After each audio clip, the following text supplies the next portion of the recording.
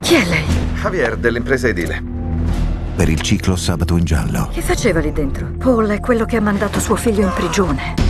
Voglio che tu sappia cosa si prova a perdere qualcuno. Perseguitare me e la mia famiglia non lo riporterà in vita. Vuoi vendicarti? Dobbiamo chiamare la polizia. Revenge. Vendetta privata. Prima TV.